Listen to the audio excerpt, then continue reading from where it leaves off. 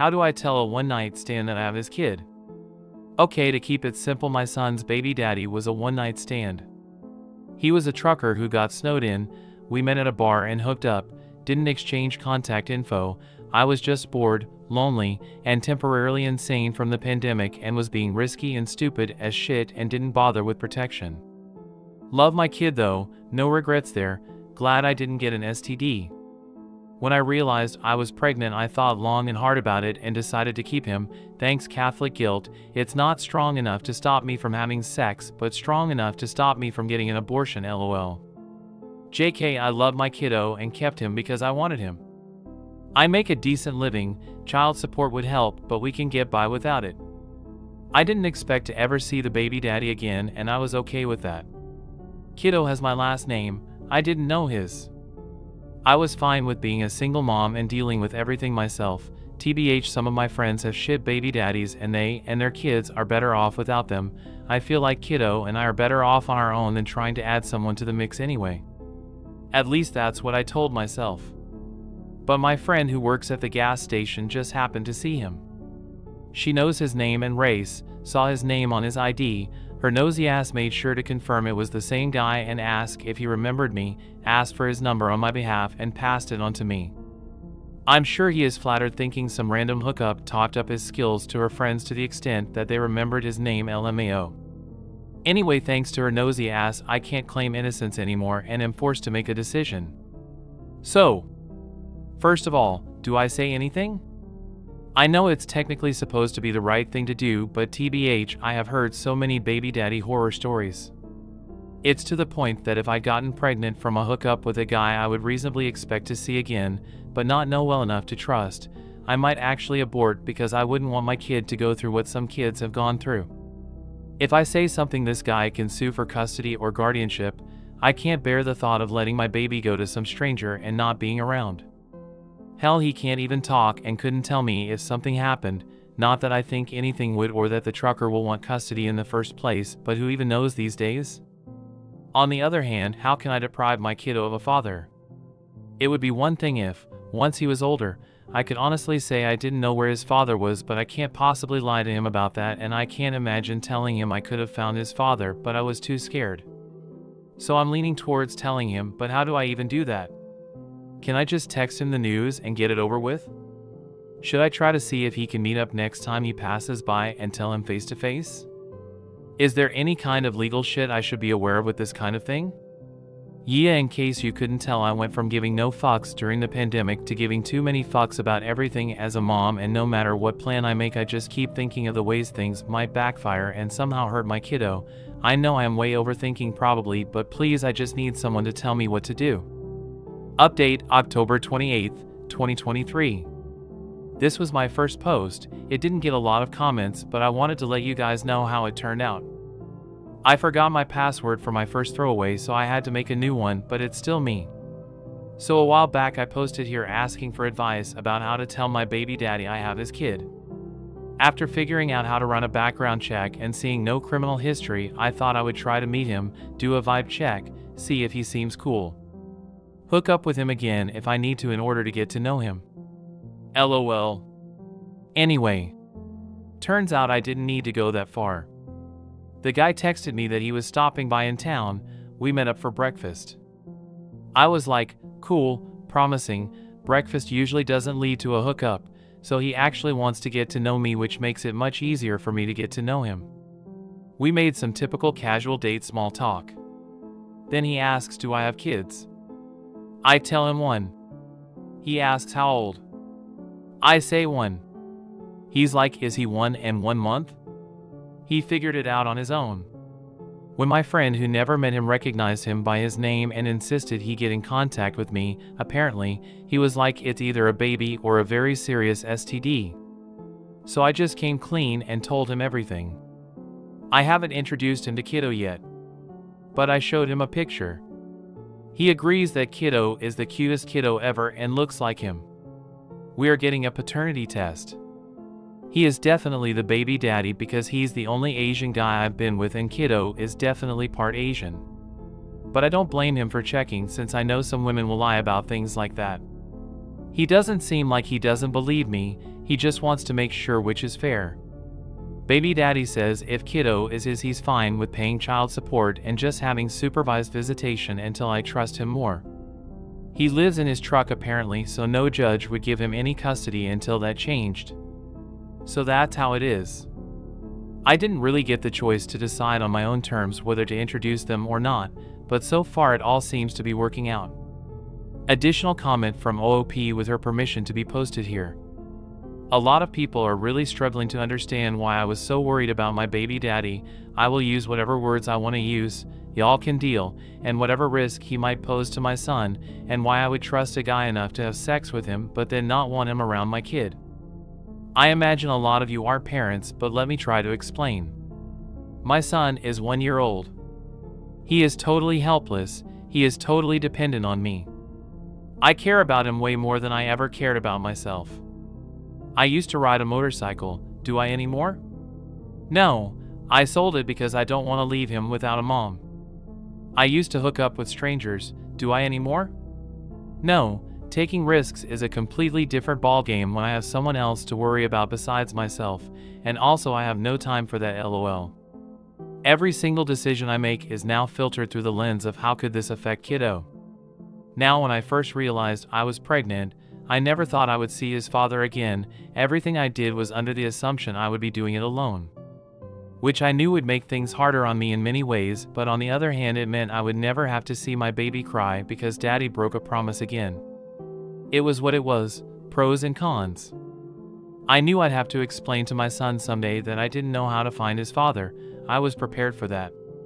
What I wasn't prepared for was ever having to make the decision of introducing my son to his father or not. That is a whole different ballgame. It was like the rug was pulled out from under me. I couldn't say, oh, it is what it is, pros and cons anymore. I'd have to make a decision. And my son would have to live with whatever decision I made. That wasn't something I took lightly. Of course, I would rather that my son have a good father than not. Two loving parents are better than one. But I didn't know. It was impossible to tell how things would work out in the future. All I could think was if I tell this guy, he can take my son. If I tell this guy, he can take my son. A judge can award him custody of my son, and I won't be able to do anything about it. I don't know how to describe how terrifying that thought is.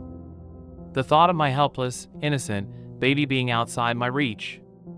If something bad were to happen to him during that time, he couldn't even tell me. It's not that I thought something bad would happen. I'm not anti men or anti trucker or anything like that. I don't think all men are evil. It was just this idea that, once I tell the baby daddy, I've done something I can't undo and anything might happen. You can think I'm horrible, selfish, a narcissist, the worst kind of female, whatever. None of that matters to me, what's best for my son is the only deciding factor.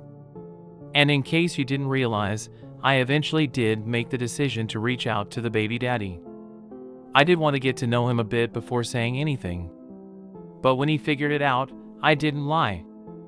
I could have, but in the end, I decided Kiddo deserved to know his dad, and if I lied right then, I could be throwing away that chance. Since he clearly only agreed to meet me because he figured out what happened.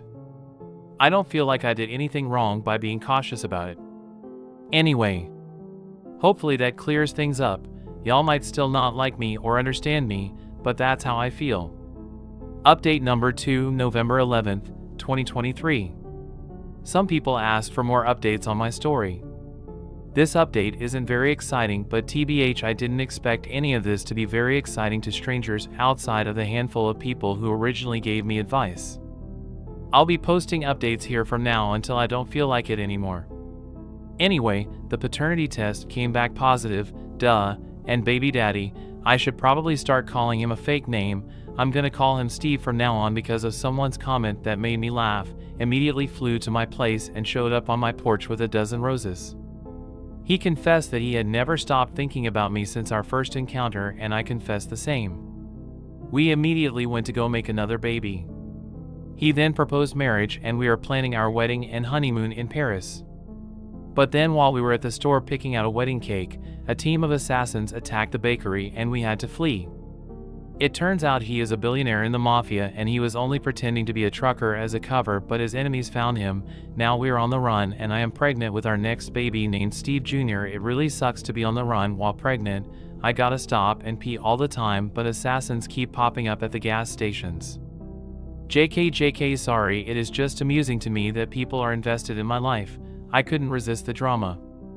Okay, here's the real update. The paternity test came back positive and Steve and I have been texting back and forth and talking on the phone. We still need to figure out a good time to meet up so that hasn't happened yet and I don't know when it will.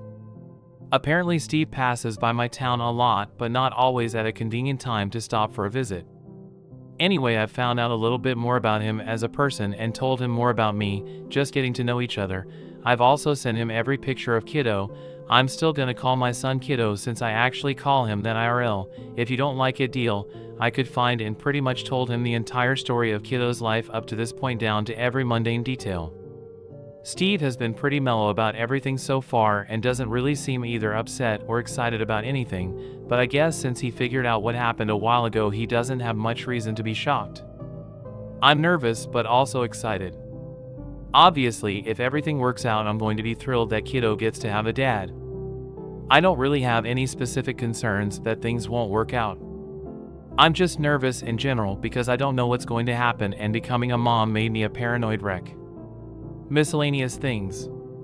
Steve says he doesn't have any other kids, to his knowledge. But he usually uses protection, that was an out of character reckless moment for both of us. So he most likely doesn't. Steve asked me frankly if I was intentionally trying to get pregnant that night. It might have seemed that way because I told him I had condoms and then I couldn't find one. But no, I legit just forgot where they were, and in the heat of the moment, we were both drunk slash stupid enough to carry on anyway rather than putting our clothes back on and going out to buy some. I found out Steve's ethnicity. To put it simply, he's mixed. I'm not going to list all his ethnicities because that would start to get too specific. He speaks the language of one of his ethnicities as a second language, and he sent me some YouTube channels that have some children's songs in that language so kiddo can be exposed to it, so we've been listening to those. I think it's super cool.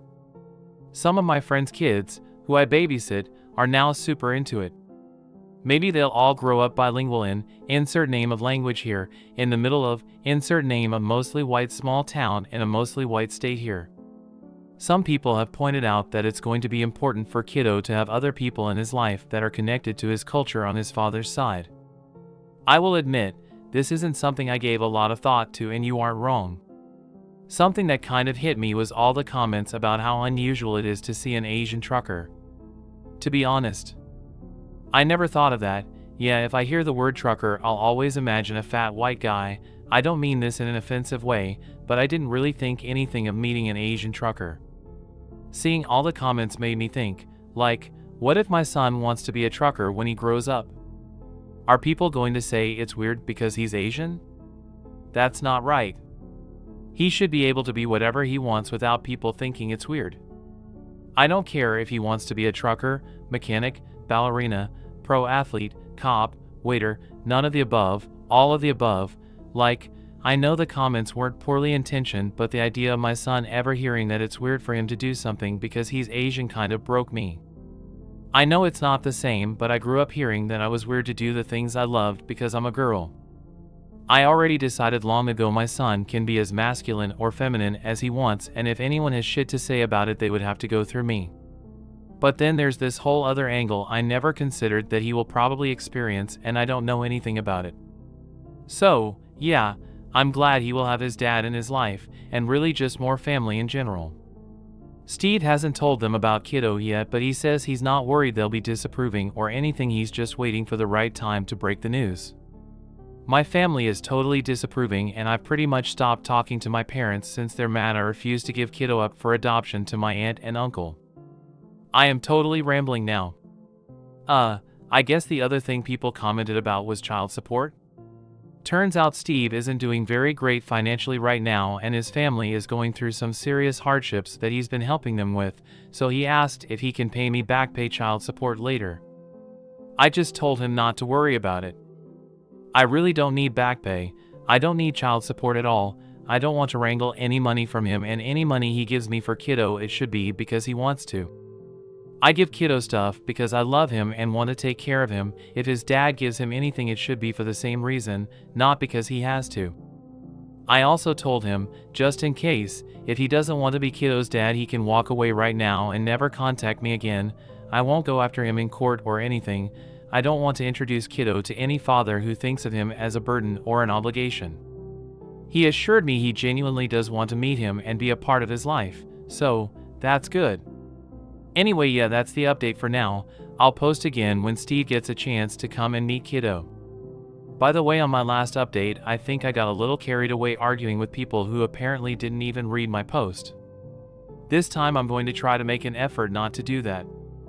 I was a little caught off guard, but now I'm prepared in case any of these updates get a lot of comments again and I think I'm more mentally prepared to just let people be stupid without it getting to me.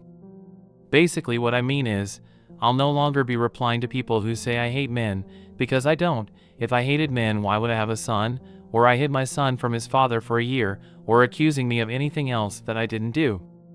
We have a visiting date set, November 24th, 2023. It's Wednesday the 6th. He'll leave Saturday. We have a few, low key, activities that we might do depending on the weather. And then Steve will try to stop briefly and visit as often as he can when he passes by. But he wants to have more time to get to know Kiddo for the first time he is meeting him so he got a few days off work. So yeah.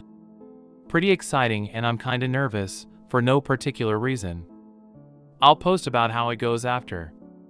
In other news, it's been snowing and it has been the cutest thing ever seeing Kiddo's reaction to it and him waddling through the snow in his little snow booties. Also, he loves sweet potatoes apparently. The visit went well, December 19th, 2023. Hello to all friends and haters, here's another update. It's pretty late because I've had a lot going on and haven't really felt like writing everything up and tbh the amount of haters in the comments have been a bit overwhelming and I know I'm most likely gonna get more. IDK it's weird but I feel like this mix of excitement and dread about posting and I considered not posting, but honestly, I like attention. So the excitement won out and I'm gonna post.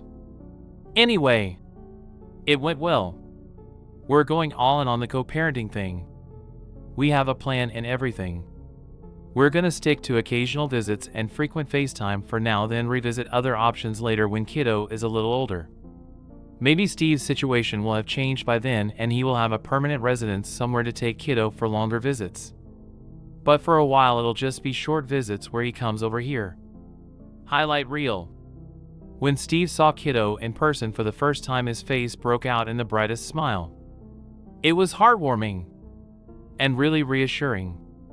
Kiddo took to him right away, he is really interested in people in general, so I thought he probably would. But yeah, I didn't know I had been worried that Steve wasn't really interested and just felt like he was obligated to be in Kiddo's life. I think I thought that because he didn't really express much emotion about finding out about Kiddo, but now I think that might just be how his personality is.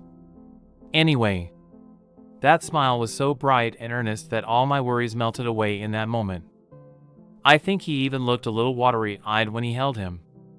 He brought Kiddo seven stuffies, mostly teddy bears, from different states he passed through since finding out about him.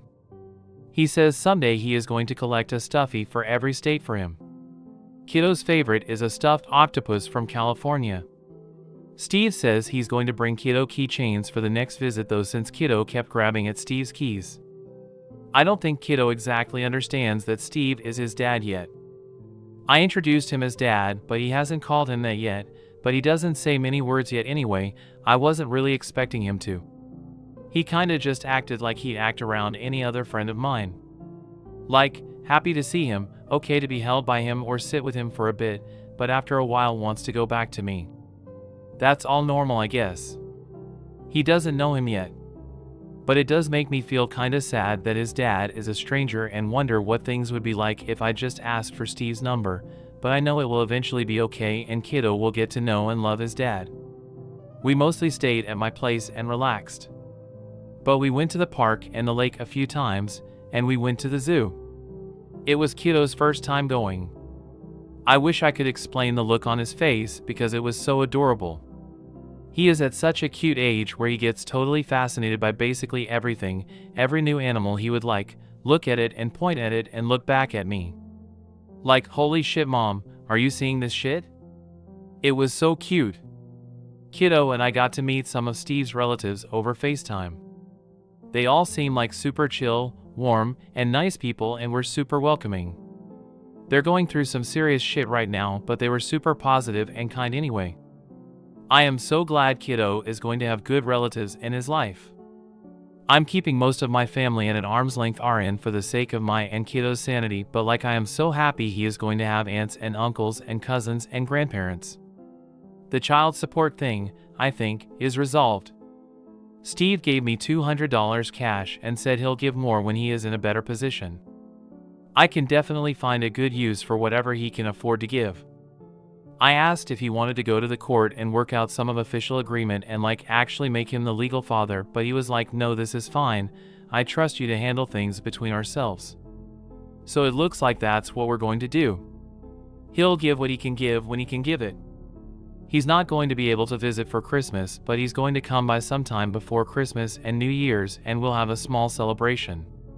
It's not like Kiddo knows when Christmas is actually supposed to be so it works out okay. Okay, here's the thing that some of you are probably going to judge me for. But Steve and I actually did end up hooking up again. But we used protection this time. In my defense, I hadn't had sex in like two years. I'm never again going to hook up with a random stranger or hook up without using protection. And just to be extra safe, I'm going to try to go on birth control too. But I don't want to give up sex forever just because I'm a mom now. So, whatever, judge away. The only thing I'm worried about is if things end up affecting Kiddo somehow. Because where things stand, it looks like Steve and I are going to just be friends with benefits and not get in an actual relationship. Maybe that will change someday, but for now, that's what we both want. Anyway, I know people whose parents were married, divorced, never married, whatever. And in every category, I know some of them turned out fine and some didn't. I don't think there's any one situation that's best for every family. But I've never actually met anyone whose parents were FWB or met anyone in a FWB relationship who is co parenting with them. I don't think that's a very common situation. Maybe in poly situations it's more common? I don't know any poly couples in real life though, so that doesn't change much. Anyway, I don't know why it would be a bad thing for Kiddo really, but maybe I'm overlooking something. I mean, I guess if one of us wanted to end things, it could get messy. Maybe? I'm not the drama queen type, and he doesn't seem like it either, and that could affect Kiddo. But that happens to actual couples too. And probably even worse. Anyway, yeah, that's basically everything. New update. Hi again, Reddit. I got a couple more people checking in. Did this get reposted again somewhere? And I figured I'd just give a general update even though I once again don't have anything dramatic to share. Steve has come to visit a few times since the first time but hasn't ever been able to stay for more than 1.5 days. However, we're planning a longer visit for fall, maybe Thanksgiving or maybe sooner. He says if he ever gets snowed in again, he'll try to do it in this town. But so far, no luck with that. Also, next time he goes to visit his family, he wants me and Kiddo to come along but doesn't know when there will be a good time for that, maybe next year. He stops at my town for gas often and goes to chat with my friend. I'm gonna call her Courtney, who works at the truck stop, who gave me his number, and he's been giving her stuff to give me to give Kiddo. So Kiddo has a bunch more stuffies, keychains, and toy cars now. It's honestly way more toys than he needs slash has room for but the sentiment is sweet. Anyway, here's a cute story. It was Steve's birthday last month, and so I got a card. I wrote a birthday note, Kiddo colored on it, and we left it with Courtney to give Steve for whenever he came by. Courtney's coworker gave it to him two days after his birthday because now the whole truck stop knows him and me and my son and the whole story, and he texted me saying it was a nice surprise and made him less lonely on the road. I was going to make cupcakes or something too, but I didn't know when he'd be by and I wasn't sure if they'd go bad. I didn't know it was his birthday until like two days before, so I didn't have time to plan a gift, and I wasn't sure what to get him anyway since he doesn't have much room in his truck and he basically has what he needs already. My friends and I were talking about it, and Courtney said one of those dashboard hula dancer things, which was a joke, but then we googled it and saw there's a website where you can order custom bobbleheads. So my other friend was like, oh my god, get in the stripper one with your face, but no LMAO. He and I are still hooking up, but I don't want my face on a naked bobblehead in his truck. But apparently you can get one that looks like your kid. I think that one might be a bit more appropriate, and so that's what Kiddo and I are going to get him for Father's Day. Anyway, other stuff people have asked about. Child support is still informal, he Venmos me money or gives me cash. It's all in a savings account for Kiddo that I'll use if he ever wants to do expensive hobbies or go to summer camp or whatever, or if there's ever an emergency need, or for trade school or college in the future. As I mentioned, he and I are still FWB, so far so good on the no one catching feelings thing. I'm not much of a romantic relationship person, I don't know why. I like the idea of romance in movies and stuff, but anytime anything comes close to developing that way in real life for me, I just get super uncomfortable and turned off, and I don't think Steve is much of a monogamy person, so that works out. Kiddo and I have had short rides in the passenger seat of his truck. I think Kiddo likes the vantage point looking out the window. Also, speaking of trucks, my sister and her kids might be moving in with me. It's for sad reasons since she and her husband are on a break and are probably going to divorce, but not sure yet. But it's good for me and Kiddo because 1. Kiddo can get to know his cousins, and 2. My sister will be able to watch Kiddo at night, which means I can get my diesel tech certification at night school. I've already absorbed a lot since I've helped my coworkers out with stuff, but once I get certified, I'll get paid more. And I can help Steve out next time he needs repairs on his truck. I still don't talk to my parents much, but I seem to be running out of excuses to avoid family reunions and almost likely be forced to go camping with everyone in the summer. Also, we had a good Easter. Went to church with my friend, and there was an egg hunt for the kids. The eggs had Bible verses instead of candy, but kiddos still had fun. Then my friend, her son, and I came back to my place, had brunch, and did an egg hunt with actual candy in the eggs. The kids were a lot more excited about that. Hope everyone else is having a good Easter slash Passover slash Ramadan slash whatever.